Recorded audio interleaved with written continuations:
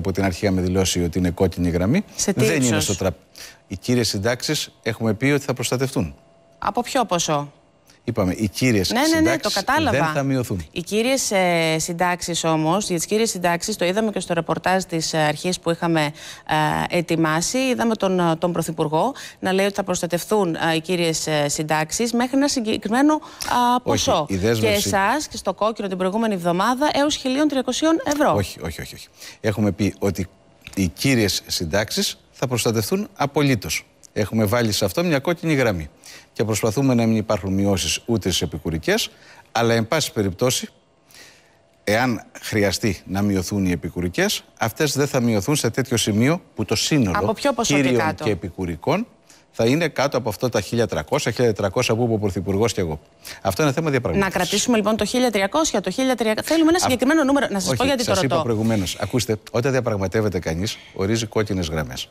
Οι κόκκινες γραμμές που έχουμε θέσει είναι η μη μείωση των κύριων Κύριε συντάξεων. Κατρούγκαλα, με και η τσιγκλάτε προστασία- λίγο τώρα. Και η προστασία του συνολικού εισοδήματος. Γιατί λέγατε, επειδή μιλάτε για κόκκινες ε, γραμμές και έχει γίνει λίγο αυτός ο όρος κουρελόχαρτο, ε, φτάσατε από την ε, επαναφορά της 13η ε, σύνταξης, συνολικά η κυβέρνηση του- του ΣΥΡΙΖΑ, ε, προεκλογικά αυτό, ε, στο να κάνει λόγο για περικοπή συντάξεων ακόμα και κάτω από τα 1.400 όχι, ευρώ. Όχι, όχι, όχι. όχι. Α τα πάρουμε με τη σειρά. Πριν από τις εκλογές του Ιανουαρίου, ο στόχος μας ήταν να προκαλέσουμε ένα σοκ ζήτησης στην ε, ελληνική οικονομία με ταυτόχρονη επαναδιαπραγμάτευση των δεσμεύσεων τότε. Πάντως, εν Και τέλει πράγματι τον προκαλέσατε σοκ, Ιανουάριο- κλείσανε μισό οι λεπτάκι, τράπεζες μισό με τα λεπτάκι. capital controls. Τον Ιανουάριο λοιπόν του 2015 εκλεγήκαμε ακριβώς στην προσπάθεια αυτή να επαναδιαπραγματευ- επαναδιαπραγματευτούμε το σύνολο των υποχρεώσεων της χώρας. Είναι αλήθεια ότι τον Ιούλιο αναγκαστήκαμε να κάνουμε αυτόν τον οδυνηρό συμβιβασμό στον οποίο αναφερθήκατε, ακριβώς επειδή είχαμε το πραξικόπημα του κλεισίματος των τραπεζών. Δεν κλείσαμε εμείς τις τράπεζες. Οι τράπεζες Κύριε έκλεισαν. Κατρούγκαλε. α- α- α- Θα με επιτρέψετε να ολοκληρώσω τη σκέψη και μετά θα σας πω. Μετά λοιπόν όμως αυτόν τον αναγκαστικό συμβιβασμό του Ιουλίου, έχοντας υπογράψει και εμείς ένα μνημόνιο, που ήταν πολύ ποιότερο από τα προηγούμενα άλλα μνημόνιο, απευθυνθήκαμε στο λαό. Και είπαμε λοιπόν στο λαό ότι δώσαμε τη μάχη μέχρι το τέλος, αναγκαστήκαμε να επιλέξουμε αυτόν τον αναγκαστικό συμβασμό απέναντι στην άτακτη χρεοκοπία που τη θεωρήσαμε καταστροφή για τη χώρα και ο λαός μας ξαναεμπιστεύτηκε. Πάντως, κύριε Κατρούγκαλε, επειδή μου κρινόμαστε- έχετε βάλει πολλά κρινόμαστε- ζητήματα, ένα Ό- λεπτό. Όχι, μισό λεπτό για να σας πω ότι εμείς τις κόκκινες γραμμές Όχι, μας θέλω να το τις πάμε λίγο σεβόμαστε. πίσω. Ε, Να πάμε.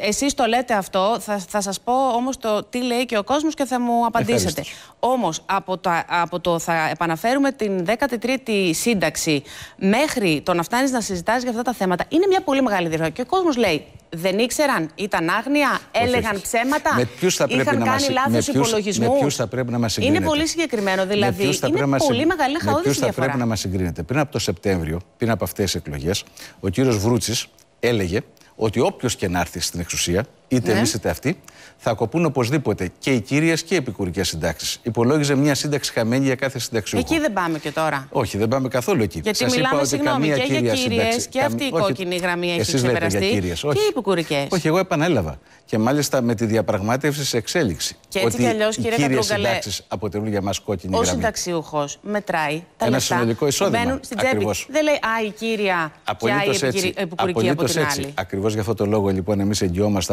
απολύτως τι κύριε που μπορούμε να τις εγγυηθούμε γιατί αυτές μπορούμε να τις ενισχύσουμε από τον κρατικό προπολογισμό και πάμε στη διαπραγμάτευση για να μην μειωθούν και οι επικουρικές.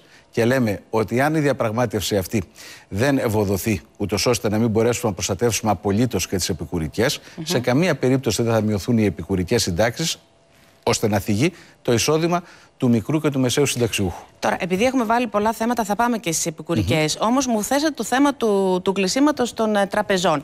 Εσείς είχατε δηλώσει πριν το δημοψήφισμα, σε, σε υλικό που υπάρχει και στο, σε, σε κάποια από τις εκπομπές στο διαδίκτυο, ότι μόνο με όχι θα ανοίξουν οι τράπεζες από τα capital controls. Τελικά βγήκε το όχι, έγινε ναι, οι τράπεζες είναι ακόμα κλειστές επί της ουσίας. Όχι, οι τράπεζες έχουν ανοίξει. Δεν είναι, δεν είναι ανοιχτές. Έχουμε capital controls. Έχουμε capital controls. Ακούστε. Οι επιχειρήσεις, κυρία Καντρούγκαλ, όμως, για να δημιουργηθούν και θέσεις εργασίας που είναι το αντικείμενό σας, χρειάζονται ανοιχτές τράπεζες με την έννοια της Ακούστε δανειοδότησης. όμως, Δάνεια δεν Η δίνουν οι βασική μας τράπεζες. διαφορά ήταν και τότε αυτή με τους πολιτικούς μας αντιπάλους ότι εμείς δεν πραγματευόμαστε. Στο δημοψήφισμα λοιπόν εμείς είχαμε θέσει ως όρο δημοκρατίας να δεθεί, να δηλωθεί η δήλωση του ελληνικού λαού ως απόρριψη των πολιτικών λιτότητας. Αυτό ήταν η δική μας ατομική βόμβα. Και ήταν η ατομική βόμβα της άλλης πλευράς; Το να κλείσουν οι τράπεζες. Το να συνεχίσει ο ελληνικός λαός λοιπόν Πάντως να υπερασπίζεται τις θέσεις του, τις θέσεις του, αυτό σημαίνει υπεράσπιση Είπε τη δημοκρατία. ότι ήταν δικό σας διαπραγματευτικό όπλο το όχι, κλείσιμο όχι, των προς τραπεζών. Θεού. Ποτέ δεν έχει πει κάτι τέτοιο ο Το κύριος έχει Βούτσης. πει. Ποτέ δεν έχει πει κάτι τέτοιο ο κύριος Βούτσης. Είναι σαφές ότι. Το η έχει πει, Ευρω... το έχει πει πάντως, Εντάξει, κύριε μα το Κατρούγκαλε. βρείτε, Δηλαδή να το δεν, βρείτε. δεν εγώ, βγάζουμε. εγώ είμαι ό,τι απόλυτα- λέμε εδώ σε αυτή την εκπομπή Σύμφωνοι. το ψάχνουμε. Εγώ σας λέω, μέχρι λοιπόν, τελευταία εγώ σας λεπτομέρεια. λέω λοιπόν ότι μου φαίνεται απίθανο να έχει πει κάτι τέτοιο ο Βούτσης για να το λέτε εσείς κάτι θα ξέρετε. Είχε πει, να σας το Σας πω, λέω όμως τώρα ότι αυτό είναι που ήταν η στάση. διαπραγματευτικό όπλο. όπλο ένας Το τρόπος κλείσιμο των τραπεζών δεν ήταν διαπραγματευτικό όπλο για μας. Ήταν πραξικόπημα της Ευρωπαϊκής Κεντρικής Τράπεζας. Και γιατί χρησιμοποιώ αυτόν τον όρο, Γιατί με ίδιες συνθήκες πολιτικές το 2012, όταν δηλαδή δεν είχαμε πρόβλημα βιωσιμότητας των ελληνικών τραπεζών, που πρόσφατα είχαν περάσει crash tests, αλλά πρόβλημα ρευστότητας, το ΜΕΝ 2012, όπως μας είπε η κυρία Σπυράκη, ήρθαν ε, τα αεροπλάνα από την Ιταλία Αυτά τα φορτωμένα έχουμε πει, κύριε δισεκατομμύρια Κατρούγκαλε. ευρώ. Το θέμα είναι ο όχι, κόσμος θέλει να να- ξέρει ο τώρα από κόσμος εδώ και όμως πέρα πρέπει τι να θυμάται γίνεται. τι έγινε το 12 και το 15. Τότε η Ευρωπαϊκή Κεντρική Τράπεζα λοιπόν ανταποκρίθηκε στο θεσμικό της ρόλο και εξασφάλισε τη ρευστότητα των ελληνικών τραπεζών για να έχουμε πολιτιστική- πολιτική σταθερότητα και να γίνουν εκλεγέ του Ιουνίου. Το 2015 έκανε ακριβώς το αντίθετο. Σε όμοιες συνθήκες έκλεισε τη στρόφιγγα και προκάλεσε το κλείσιμο των τραπεζών. Αυτό Πάντως, ονομάζω από ό,τι πραξικόπημα. φαίνεται, κύριε Κατρούγκαλ, αυτού οι 7 μήνες καλό δεν έκαναν. Και γιατί το λέω αυτό; Γιατί και εσείς τελικά, σαν κυβέρνηση ΣΥΡΙΖΑ, αναγκαστήκατε να υπογράψετε μνημόνιο που ξέρουμε πολύ καλά, τις έχουμε ακούσει, τις θυμήσαμε τις θέσεις σας. Θέλετε να το σκίσετε το μνημόνιο. Από το σκίσιμο των μνημονίων φτάσαμε τώρα στο να συζητάμε, να είστε στη, στη δυσάρεστη θέση. Εγώ σας καταλαβαίνω και καταλαβαίνω ότι αυτό είναι δύσκολο για εσά τώρα να συζητάτε για περικοπή συντάξεων. Γιατί μην παίζουμε με τις λέξεις. Ε, αν θεωρείτε εσείς ότι αυτή η περίοδος, αυτή η καθυστέρηση ήταν τελικά καταστροφική και αν έγινε πραγματική ακούστε. διαπραγμάτευση; Ακούστε, προφανώς έγινε πραγματική διαπραγμάτευση. Ποια ήταν η αντίθεση και παραμένει και σήμερα. Ποιος την το έκανε, ο μνημόνιο, Βαρουφάκης, το τη μνημόνιο διαπραγμάτευση; αντιμνημόνιο αντανακλά μια πολύ σημαντικότερη και ουσιαστικότερη σύγκρουση ανάμεσα στον Θέλω να μου νεοφιλελευθερισμό και απαντήσετε, στι να πολιτικέ επιμείνω. λιτότητα. Ο κύριος Βαρουφάκης την έκανε. Θέλω Όχι, συγκεκριμένα. θα να σας μου πείτε. απαντήσω απολύτως και τώρα. Και με τον κύριο Βαρουφάκη σε αυτόν δεν έχουμε διαφωνία. Και αυτός έβλεπε τη σύγκρουση ανάμεσα στο μνημόνιο και στο αντιμνημόνιο, σαν μια σύγκρουση ανάμεσα στον νεοφιλελευθερισμό και τις πολιτικές λιτότητες Πάντως από ο μια ίδιος ο μεριά Πρωθυπουργός και είπε την ότι κοινωνική έκανε Ευρώπη από την ανοησίες ο άλλη. κύριος Και την κοινωνική Βαρουφάκης. Ευρώπη από την άλλη. Δεν αναφέρομαι, στον Διαφωνείτε τρόπο, με αυτό; δεν αναφέρομαι στον τρόπο με τον οποίο διαπραγματεύτηκε ο κύριος Βαρουφάκης. Η προσωπική μου εκτίμηση είναι ότι στην πρώτη φάση της Υπουργείας του ήταν πολύ θετική η παρουσία του, ακριβώς γιατί συνετέλεσε στη διεθνοποίηση. ήταν η πρώτη στη φάση, μέχρι διεθνοποίηση- πότε δηλαδή; Στη διεθνοποίηση του ζητήματος ε, του ελληνικού, όχι ως ελληνικού θέματος, αλλά ως θέματος που αντανακλά τη σύγκρουση νεοφιλελευθερισμού Μέχρι και πότε, κοινωνική δηλαδή, θα ήθελα Ευρώπης. έτσι μια συγκεκριμένη απάντηση. Μέχρι πότε ήταν καλή η Δεν είμαι συμβολή του κύριου βιογράφος, Βαρου- δεν είμαι Βαρουφάκη; βιογράφος του κύριου Βαρουφάκη. Εγώ σας λέω Βιογράφος λοιπόν. όχι, αλλά- Βιογράφος, ναι, δεν είμαι ναι. βιογράφος του κύριου Βαρουφάκη. Σας Σίγουρα λέω, λοιπόν, όχι, αλλά ήσασταν ε, παρακολουθήσατε Σας φαντάζομαι λέω, και εσείς λοιπόν, με σα- αγωνία τα όσα συνέβαιναν. Α, Εντάξει, όταν από ένα σημείο και μετά ένας υπουργός οικονομικών χάνει την επαφή του με τους άλλους υπουργούς οικονομικών, από αυτό το σημείο και μετά η συμβολή του στην προώθηση των συμφερόντων της χώρας του μειώνεται. Εγώ σας λέω όμως ότι δεν θέλω να δαιμονοποιήσω τον ε, κύριο Βαρουφάκη. Μάλιστα. Διότι πεσούσει το ευκολότερο Λοιπόν, πράγμα είναι. Έχουμε πάρα πολλά θέματα να συζητήσουμε, να κλείσουμε αυτό το κεφάλαιο. Θέλω να επιμείνουμε λίγο σε ένα α, ποσό α, κάτω από το οποίο θα προστατευτεί η κύρια α, σύνταξη. Ακούστε, δεν μιλάω με αριθμούς. Έχουμε πει ότι οι κύριες συντάξεις δεν πρόκειται να μειωθούν και το εισόδημα των μικρών και των μεσαίων συνταξιούχων θα το υπερασπίσουμε πάση θυσία. Και αυτή είναι η βασική μας διαφορά με τη Νέα Δημοκρατία, που ακόμα και σήμερα θέτει ζήτημα των συντάξεων, της μείωσης και των κύριριων. Θα Και ήθελα σας να μας ξαναλέω, δώσετε μια ιδέα, να σας πω ακούστε με, γιατί η γνωρίζουμε πολιτική πώς κρίνεται; από δημοσιογραφικές Σύγκριση- πληροφορίες. Σύγκριση, σύγκριση πολιτικών θέσεων. Εμάς, εμείς λοιπόν πρέπει να συγκριθούμε τώρα με αυτά που μέχρι πρόσφατα έλεγε ο κύριος Βρούτσης. Ότι δηλαδή είναι αναπόφευκτες οι μειώσεις και των κύριων συντάξεων. Εμείς εγγυόμαστε αυτές τις συντάξεις. Ναι. Θα ήθελα, όμως, γιατί μου φαίνεται λίγο έτσι δύσκολο να το πιστέψω ότι πρέπει μάλλον να κλείσετε μέχρι την Παρασκευή, τουλάχιστον αυτό λένε οι δημοσιογραφικές πληροφορίες, και να μην μπορείτε να μας πείτε έτσι ένα συγκεκριμένο ποσό, έστω λίγο κοντά. Μα δεν πρόκειται για Το λέω παζάρι. αυτό γιατί και οι συνταξιούχοι μας παρακολουθούν αυτή τη στιγμή, αγωνιούν, θέλουν να ξέρουν. Δεν είμαστε σε σουκ, δεν είμαστε σε παζάρι. Τις διαπραγματεύσεις που κάνουμε θα τις φέρουμε στο πέρας όχι μόνο σε όφελος των ε, σημερινών συνταξιούχων, αλλά και των ασφαλισμένων και των εργαζόμενων. Για μένα κρισιμότερη είναι η συνολική φυσιογνωμία που θα πάρει το ασφαλιστικό μας σύστημα, να είναι αναδυναμητικό προς όφελος των φτωχότερων, των αδύναμων, των μεσαίων στρωμάτων. Και επίσης σημαντικό είναι να προστατεύσουμε και το εισόδημα των συνταξιούχων. Μάλιστα. Και επίσης σημαντικό είναι να ελπίζουν Για- οι νέοι εργαζόμενοι θα πάρουν σύνταξη κάποια στιγμή. Θα το δούμε και αυτό στην πορεία. Τι θα γίνει τελικά με του επικουρικές. Γιατί ξέραμε ότι η δική σας πρόταση ήταν η αύξηση των εργοδοτικών εισφορών. Και με συμμετοχή των εργαζομένων και των εργοδοτών. Το αποδέχεται τελικά αυτό η άλλη πλευρά, οι είναι ένα, είναι ένα από τα σημεία που ακόμα διαπραγματευόμαστε. Γιατί ξέρουμε, ή μάλλον αυτό το οποίο εμείς έχουμε εισπράξει, είναι ότι υπάρχει μια αρνητική ας το πούμε έτσι, στάση από την άλλη πλευρά. Ναι, ναι. Αληθεύει ή όχι ναι, ναι. αυτό; Ειδικά ότι το, το βλέπουν ειδικά από το Διεθνές Νομισματικό Ταμείο είχαμε και εξακολουθούμε να έχουμε μια έντονη αρνητική στάση. Και ακριβώς για αυτό το λόγο, εμείς προσπαθούμε να δώσουμε ευρωπαϊκή διάσταση στο θέμα. Όπως θα ξέρετε, με δική μας πρόταση έχει συσταθεί μια επιτροπή παρακολούθησης από το Ευρωπαϊκό Κοινοβούλιο που παρακολουθεί τη διαπραγμάτευση. Και ο Πρωθυπουργός και ο Υπουργός Οικονομικών και εγώ έχουμε απευθυνθεί στους ομολόγους μας Ευρωπαίους ηγέτες και θέλω να σας πω ότι έχουμε βρει ιδιαίτερα θετικό έδαφος στην υποδοχή των προτάσεών μας. Όλοι παραδέχονται, Η... όλοι παραδέχονται, να σου το πω το εξής, ότι έχουμε ορισμένους οικονομικούς στόχους από το μνημόνιο.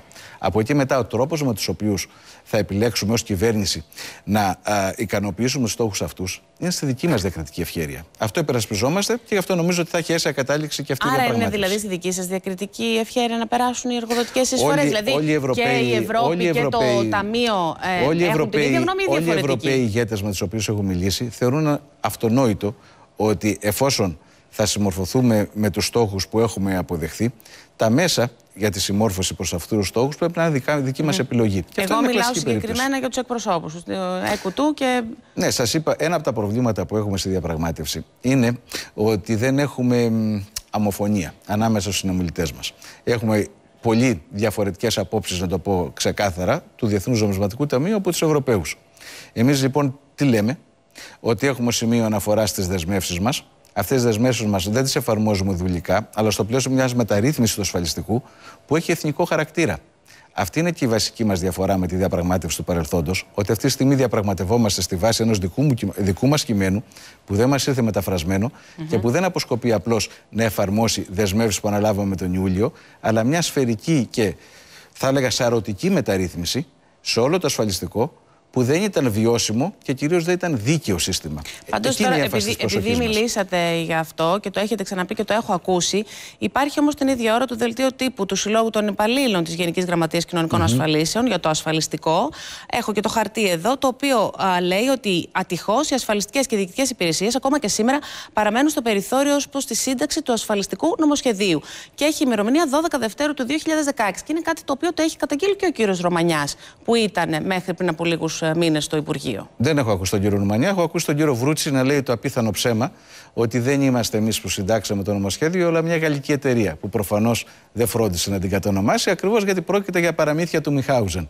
Αν η... δεν συμμετείχαν, με συγχωρείτε κύριε Υπουργέ, οι, οι υπηρεσίες του Υπουργείου. Η συγκεκριμένη, αυτή, η συγκεκριμένη αυτή ανακοίνωση, η οποία έχει προφανή πολιτική και συνδικαλιστική στόχευση, δεν λέει ότι δεν ε, χρησιμοποίησαμε τα στελέχη του Υπουργείου, αλλά ότι ήταν στο περιθώριο προφανώς οι συντάκτες τους. Ε, Εμείς προχωρήσαμε σε μια αναδιοργάνωση. Εγώ το συντάξατε, αν, αν δεν έγινε Με στελέχη του Υπουργείου, αλλά όχι με τα στελέχη που υπογράφουν τη συγκεκριμένη ανακοίνωση. Με συμβούλους; Όχι, όχι, όχι. όχι. Προφανώς είχαμε και μετακλητούς συμβούλους. Προφανώς είχαμε και τεχνική βοήθεια από τη Διεθνή Οργάνωση Εργασίας και από την Ευρωπαϊκή Επιτροπή. Προφανώς ζητήσαμε τη μετάκληση συμβούλων εμπειρογνωμόνων από τη Σουηδία, για παράδειγμα. Αλλά είχαμε και τη συμμετοχή διευθυντών και γενικών διευθυντών του Υπουργείου, οι οποίοι όχι απλώς συμμετείχαν στη σύνταξη του νομοσχεδίου, αλλά και στη διαπραγμάτευση. Οποιοδήποτε έχει δει φωτογραφίες από τη διαπραγμάτευση, θα γνωρίσει εκεί γενική διευθύντρια του Υπουργείου μας, που ήταν από τους πρωταγωνιστές. Άρα δεν πολύ εμπιστεύεστε τους υπαλλήλους ε, του Υπουργείου ή όχι; Όχι, αντιθέτως. Εμπιστεύομαι τους καλούς υπαλλήλους, τους συνεπείς υπαλλήλους και τους παραγωγικούς. Δεν εμπιστεύομαι υπαλλήλους που είχαν μάθει να έχουν σταδιοδρομία βασιζόμενοι στο παλιό σύστημα των πελατειακών σχέσεων και της πατρονίας. Γιατί κακά τα ψέματα.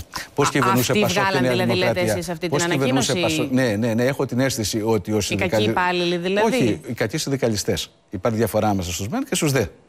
Πράγματι, ο Υφυπουργός κάλεσε τη ε, συγκεκριμένη σωματείο και τους κάλεσε να του πούν στο πρόσωπο αν αφισβητούν τη συμμετοχή των υπαλλήλων ε, του Υπουργείου στη διαδικασία της ε, σύνταξης του νομοσχεδίου. Και ακριβώς επειδή ήταν αντίρρητο ότι συμμετείχαν, οι άνθρωποι αυτοί δεν ήμουν μπροστά για να δω αν τράπηκαν που λένε αυτά που λένε, αλλά εν πάση περιπτώσει θα έπρεπε να ντραπούν. Μάλιστα. Να πάμε λίγο τώρα, κύριε Κατρούπολε, στην Εθνική ε, Σύνταξη. Έχετε προτείνει εσείς 384 στα 15 έτη. Τι λέει το Ταμείο, τι λένε οι δανειστές; Ε, υπάρχουν αμφισβητήσεις ως προς τα γενικά χαρακτηριστικά του συστήματος. Εμείς θέλουμε ένα αναδιανεμητικό σύστημα, σας είπα προηγουμένως, mm -hmm. προς όφελος των φτωχότερων και των μεσαίων στρωμάτων. Η άλλη πλευρά έχει μια λογική που αντανακλά αυτό που σας είπα προηγουμένως στη σύγκρουση ανάμεσα στον εφηλελευθερισμό και στην κοινωνική Ευρώπη, να επιμένει στην αναλογικότητα. Δηλαδή, πρακτικά, ό,τι παροχές ε, θα περιμένει κανείς να πάρει, αυτές να ανταποκρίνονται απολύτως στις εισφορές που έχει δώσει. Στο πλαίσιο λοιπόν αυτό έχουμε πράγματι σκληρή διαπραγμάτευση, που ακριβώς όμως επειδή νομίζουμε ότι υπερασπιζόμαστε τα συμφέροντα του λαού μας, θα Όταν κάνει λέτε κατάληξη. μεσαία στρώματα, κύριε Καντρούγκουλε, γιατί καταλαβαίνουμε ότι τα μεσαία στρώματα θα επιβαρυνθούν πολύ. Θα επιβαρυνθούν και από το φορολογικό, το οποίο είναι και αυτό. Όχι, το αντίθετο. Όταν Ακούστε, θα κατέβει το φορολόγιο από τα 9,5 στα 7,5 που γνωρίζουμε ότι υπάρχουν πιέσεις, δεν θα πιεστεί και ακούστε, από εκεί; Όπως θα δείτε, αυτό, δίνουμε μάχη για να μην μειωθεί το φορολόγητο. Σας θυμίζω ότι από 26% ο φορολογικός συντελεστής, ο κατώτερος, μειώνεται στα 22%. Και αυτό μιλάμε για εισοδήματα με τις 30.000 ευρώ. Αυτή τη στιγμή, όποιος έχει 30.000 ευρώ στην Ελλάδα, ναι, μεν δεν είναι πλούσιος, μιλάμε για καθαρό εισόδημα, είναι όμως πολύ καλύτερα από το μέσο άνθρωπο που, αν είναι μισθωτός, έχει ένα μισθό βία 800 ευρώ και αν είναι ελεύθερος επαγγελματίας, φαίνεται να έχει ακόμα λιγότερα. Πάντως, οι πληροφορίες από το ρεπορτάζ λένε σήμερα, εσείς γνωρίζετε καλύτερα βεβαίως, εσεί ήταν μέσα στη διαπραγμάτευση, ότι ασφαλιστικό φορολογικό ενεπλάκησαν ε, λίγο σήμερα. Αυτό σημαίνει δηλαδή ότι ό,τι κερδίζουμε, έτσι να το πω, από το ασφαλιστικό μπαίνει στο φορολογικό Όχι, και το, ανάποδα. Το, ακριβώς, Άρα, το ακριβώς στη αντίθετο. είναι το ίδιο. Το ακριβώς αντίθετο. Εμείς θεωρούμε δύο κοινά στοιχεία ότι έχει και το ασφαλιστικό και το φορολογικό. Πρώτον, ότι πρέπει να επιβαρυνθούν περισσότερο οι λίγοι που έχουν πολλά. Δεν μιλάμε για τα μεσαία στρώματα, μιλάμε για τους πλουσιότερους ανάμεσά μας, που στο παρελθόν δεν πλήρωναν όσο τους αναλογούσαν. Το δεύτερο χαρακτηριστικό που πρέπει να έχει και το ασφαλιστικό και το φορολογικό είναι ότι να βοηθούν γενικά την οικονομία να ξεφύγει από την κρίση. Γιατί χωρίς ανάπτυξη δεν πρόκειται να έχουμε ούτε καλές συντάξεις, ούτε προοπτικές για εμάς και για τα παιδιά μας. Άρα, ποια είναι η κοινή γραμμή του ασφαλιστικού και του φορολογικού, να ελαφρύνουμε τους φτωχότερους. Ποιοι είναι οι φτωχότεροι, όσοι έχουν εισόδημα από 0 έως 1.000-1.500 ευρώ. Mm-hmm. Και να επιβαρύνουμε περισσότερο αυτούς που έχουν πιο πολλά χρήματα. Και το Σύνταγμα μας το λέει και η λογική. Μάλιστα. Λοιπόν, θα, μετά τις διαφημίσεις θα δούμε πότε βλέπει ο κ. Καντρούγκολο να έρχεται το νομοσχέδιο στη Βουλή, τι θα γίνει με το ΕΦΑΠΑΞ, τι θα γίνει με το ΕΚΑΣ, τι θα γίνει με τους αγρότες και τους ελεύθερους νέους επαγγελματίες. Σε λίγα λεπτά επιστρέφουμε.